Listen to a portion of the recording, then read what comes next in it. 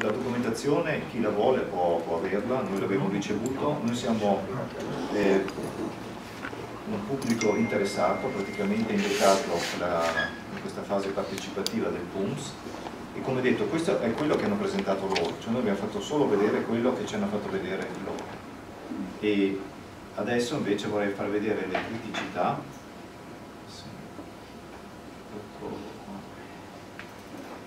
criticità che sono state presentate dalla provincia autonoma di Bolzano al Consiglio Comunale. Queste, questo, questo, che sta succedendo è il, il frutto del, delle attività di protesta dei cittadini essenzialmente, che siamo riusciti facendo pressione e più siamo meglio è per ottenere qualcosa. Eh, ci sono state due audizioni in Consiglio Comunale eh, perché il sindaco prima, il primo conto che avevamo era del novembre dell'anno scorso, noi abbiamo fatto pressione per eh, insomma, che, che, Bolzano avesse un'aria più pulita. Subito dopo eh, il signor Guariento, Massimo Guariento dell'APA di Bolzano, è stato invitato in comune per fare una presentazione e questa era la seconda che abbiamo ricevuto per caso. Sì, qui i contenuti che lui ha presentato in comune erano questi, adesso faccio un po' veloce, così. contributi delle varie fonti emissive, analisi delle emissioni da traffico e stima degli effetti della limitazione della circolazione. Questo è lo stato di fatto, questo non ha, ha, ha a che fare col PUMS, però non è il PUMS, non è il piano urbano mobilità sostenibile, ma sono dati misurati presentati in Consiglio Comunale. Questo mi sembra l'avevamo già visto l'altra volta per chi c'era, le misurazioni che sono state fatte in via Roma, e eh, le stazioni di misura che fanno vedere i livelli di ossido di azoto come media annuale nel 2016. Prima c'è stata una domanda, eh, su quei tabelloni che fanno vedere dove sono le centraline si vede il valore momentaneo e se eh, viene sforato il valore limite dei 200 microgrammi, media oraria. Oltre i 200 microgrammi, che sono delle situazioni veramente estreme, il, il traffico deve essere bloccato immediatamente ma c'è anche un altro limite, c'è il limite del valore della concentrazione annua, che è indicato che è questo qui, concentrazione annuale di ossido di azoto. Perché? Perché il nostro organismo non reagisce solo sui momenti di punta dell'inquinamento, ma è, è, un inquinamento costante che eh, il, il, nostro organismo deve gestire in qualche modo. E allora eh, il legislatore ha fissato in Europa 40 microgrammi di ossidi di azoto per metro cubo media anno è quello che i comuni, le province dovrebbero rispettare. Come vedete abbiamo dei sforamenti importanti eh, nelle varie eh, zone. Ecco, questo è il valore limite, qui indicato correttamente, 40 microgrammi, e l'andamento nel 2016 dei valori, vari valori che sono stati eh, misurati. Questi sono valori misurati, dati, validati. Ecco, questo è proprio via Roma, stazione via Roma che è quella però dall'altra parte del fiume sotto l'autostrada. Ok, ecco, qui le situazioni di superamento si vedono qui, questa è sempre via Roma, qui c'è quella, quella chiocciola che va giù, qui c'è la piazza e si vede specialmente sul lato delle case si vede queste concentrazioni veramente importanti di ossidi di azoto, ma comunque anche lungo tutta la strada dove viviamo tutti noi, dove usciamo, passiamo, bambini, anziani, dove vive, dove vive tanta gente. No? E poi dopo farò vedere quante persone sono coinvolte su questa cosa. Questo è sempre il 2016, questo è l'effetto canyon che abbiamo già visto l'altra volta, dove c'è la, la, la casa, abbiamo grossi problemi perché c'è una concentrazione elevata questa è la sezione che hanno simulato, questa è una simulazione e qui hanno fatto questa sezione e qui si vede poi i valori che sono molto importanti. Ecco. Ehm, questo per la stima eh, di, per il potenziale superamento degli ossidi di azoto hanno fatto questo reticolo, sono le strade principali praticamente della città, sicuramente via Roma, via Druso, via Claudio Augusta eccetera e cercano con dei modelli eh, matematici di fare delle previsioni sulla concentrazione degli ossidi di azoto. Queste sono le, le strade, il reticolo di strade con più di 800 8.000 passaggi al giorno. Okay. Ecco, queste sono le zone potenziate di potenziale superamento degli ossidi di azoto. Sono 46 km e sono coinvolti 9.000 abitanti cioè 9.000 abitanti di Bolzano, questo solo per Bolzano, eh, pagano il prezzo di, di, una mobilità non regolamentata, del non rispetto delle leggi, quello che diciamo sempre agli incontri anche al signor Karamaschi, che insiste molto sulla legalità, e io dico signor Karamaschi, lei lo sa, il limite viene superato, noi chiediamo, non chiediamo nient'altro che la legalità, come lui sempre vuole, ripete, eccetera. Chiediamo che i valori vengano rispettati. Chiaramente in queste zone in rosso io abito qui, voi siete qui, io probabilmente tutta questa zona qui è la responsabilità principale è l'autostrada, ma qui, qui, questa zona qui, qui, Gries, non c'entra niente l'autostrada, o poco o niente, perché è troppo distante. Lì è il traffico cittadino, Bolzano ha il problema delle strade in città e anche dell'autostrada, tutte e due, e non viene affrontato assolutamente niente. Adesso pian piano, quanto pare, insomma, si sta succedendo qualcosa. Sono appunto 9.000 cittadine e cittadini che sono quelli che pagheranno il prezzo dei 66 morti in Alto Adige ogni anno per gli ossidi di azoto. Ok, adesso i contributi, perché non, cioè anche per capire ma da dove viene questo ossido di azoto? L'ossido di azoto viene essenzialmente dalla combustione o carburazione di sostanze fossili. Ecco, vediamo 60, 68% trasporto su strada, poi c'è l'energia teleriscaldamento, riscaldamenti 11%, processi produttivi, trattamento, smaltimento di rifiuti e poco e altre sorgenti mobili così. Allora, i valori che sono adesso misurati, per esempio, i riscaldamenti a Bolzano non ci sono ancora, è tutto quasi esclusivamente tutto traffico e c'è uno sforamento sistematico dei valori. Adesso non so se fosse meglio ridurre questo o rinunciare al riscaldamento. Scusa, prima dicevi che sono dati del 2016 questi? 2013. Ah, questo è il 2013, prima, prima era 2016. 2016. Questo era Adesso sono del 2013. Sì, questo è il 2016. Questa è la presentazione di Guariento e sono dati validati e non è cambiato di molto. Eh. Questo invece è del 2017, media annuale misurata eh, nel 31 microgrammi. No? Questa è solo la BZ6, adesso non so esattamente dov'è. E qui ci sono i contributi per il traffico cittadino, riscaldamento e così probabilmente questa è quella mh, mm, in via eh, amballaggi penso eh, perché il contributo del traffico è poco ecco questa non so adesso dov'è bisogna vedere la cartina. Qui si vede che il, il, traffico incide ulteriormente. Qui ci sono le varie eh, stazioni di misura 2017 qui avevamo 47 microgrammi qui 43 microgrammi. Ecco, poi qui c'è l'effetto canyon, no? eh, perché come si forma, le case, la mancanza di ricircolo dell'aria e la concentrazione dei gas di scarico, dei fumi di, di, di scarico delle combustioni e delle carburazioni della eh, mobilità, legati alla mobilità. Ecco, eh, questo è quello che c'era anche sull'invito no? per capire da dove, quali mezzi emettono queste sostanze. questo è veramente non l'abbiamo fatto noi, eh? Questo l'ha fatto, questa è la fonte, è stato presentato da Guariento, dall'APA. Vediamo che per i diesel, questo è Euro 0, Euro 1, 2, 3, 4, 5 e 6. Vediamo che l'Euro 5 inquina più dell'Euro 0. Che cosa vietano o vorrebbero vietare a Bolzano? L'Euro 0, l'Euro 1 e l'Euro 2 e forse l'Euro 3. Ma il più importante è l'Euro 5.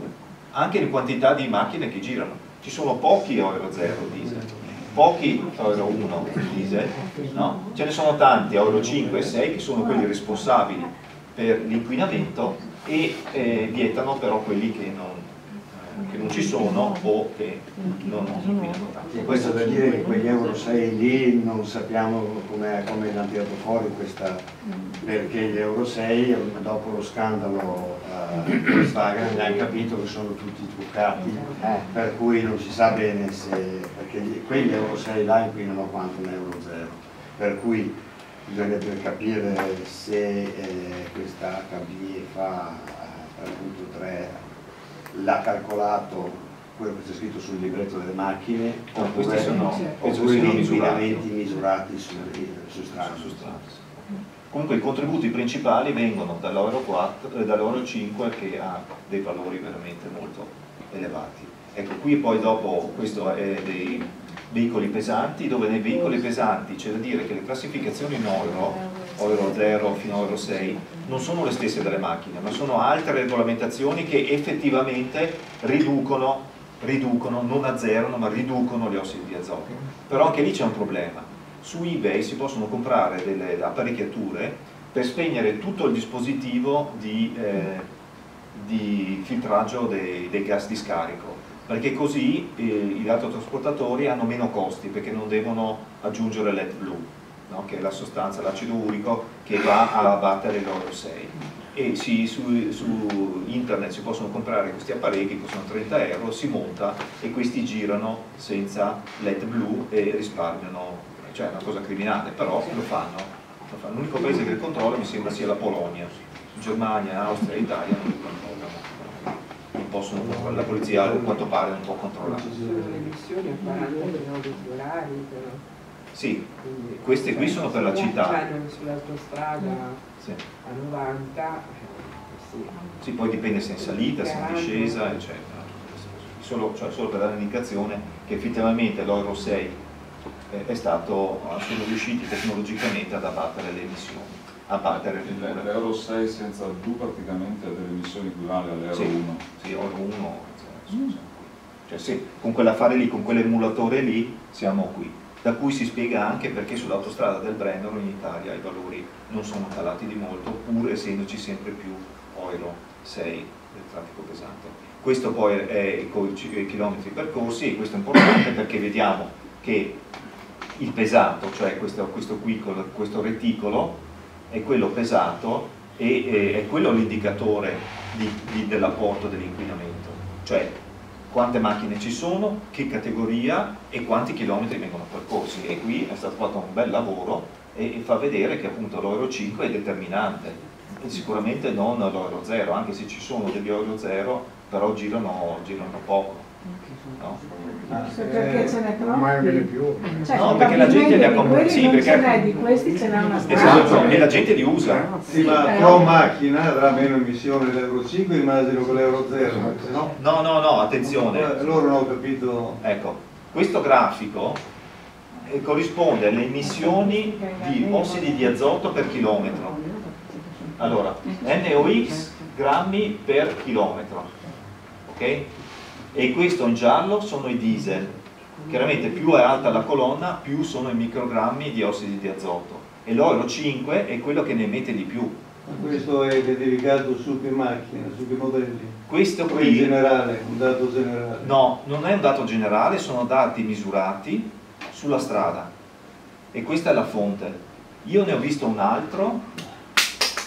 Io ne ho visto un altro. sono scettico sì, no, bisognerebbe leggersi il documento, no, ma questa, sì, questa, era la base per la causa che hanno fatto negli Stati Uniti contro l'industria automobilistica. Si è maneggiato perché le missioni lì fossero ancora di base quelle richieste, probabilmente lì è maneggiato per entrare con loro. Allora, posso, Volkswagen, no, Mercedes no, cosa. Posso dire la Deutsche che in Germania ha portato in tribunale gran parte dei lender fatto delle misurazioni su strada, sia in estate sia in inverno, di molte auto, Euro 5 e Euro 6, e i dati corrispondono grosso modo a questi dati qua.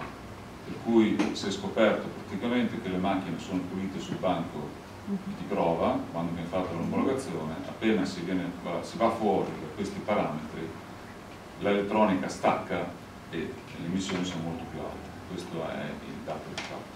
Il problema grosso è che il grande problema, andiamo un po' nel tecnico, ma quando sono entrate in vigore le normative Euro 5, i eh, costruttori, oltre alle, fur alle furbate legali, furbate legali fatte in importazione, eh, sapevano benissimo che stavano buttando sul mercato auto che poi su strada non erano assolutamente conformi. Noi ci hanno obbligato a vendere l'Euro 2 per prendere l'Euro 5.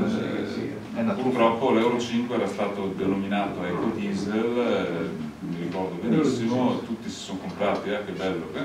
però naturalmente il, il fatto che non sono diminuite complessivamente le emissioni di biossido di azoto e le emissioni di biossido di azoto è, è, è dovuto a questo fatto Per cui, eh, per cui adesso ti dicono dal 2020 non ti faccio più adesso diesel, compra solo benzina. Si è accennato al discorso dell'Euro 6, questo comincia a diventare per una persona normale diventa un complicato perché dal 1 settembre è entrata in vigore l'Euro 6C però gran parte delle case automobilistiche hanno omologato le auto con la D 6 di tempo che entra in vigore dal prossimo settembre e poi dal 2021 ci sarà l'Euro 6D.